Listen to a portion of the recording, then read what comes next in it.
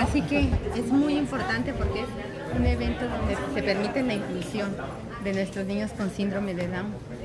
que, Dios mío,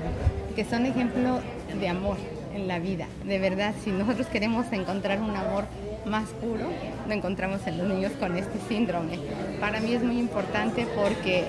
esto hace que también la, la sociedad nos sensibilicemos más acerca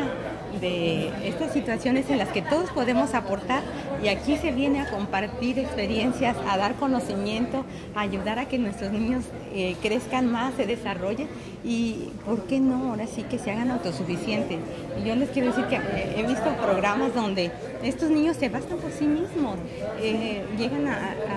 destacar en muchas cosas, llegan a tener un nivel de conocimientos bastante alto y es algo que, que anima mucho y que pone un ejemplo para los niños que no tienen ninguna discapacidad y que pueden dar mucho más en su vida y que pueden aportar mucho a la sociedad, viéndolo todo de, con un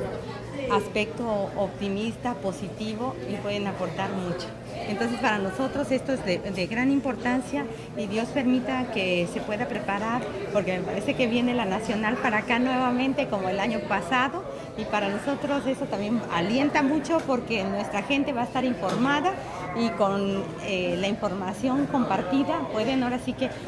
ascender a más situaciones buenas para nuestros niños,